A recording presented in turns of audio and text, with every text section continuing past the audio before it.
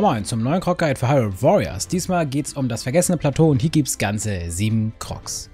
Den ersten Croc findet ihr dann hier.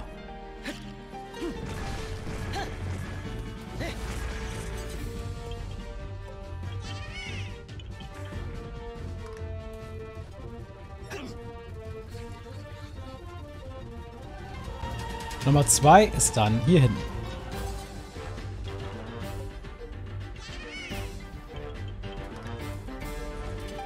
Krog Nummer 3 findet ihr dann hier.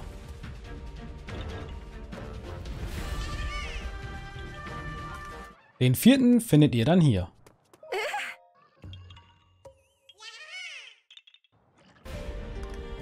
Bei dieser schönen Aussicht, die man auch aus BOTW kennt, ist dann die Nummer 5.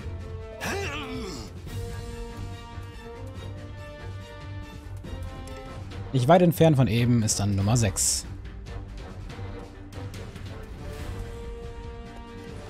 Und hier ist dann Nummer 7. Am Ende dann noch die Map.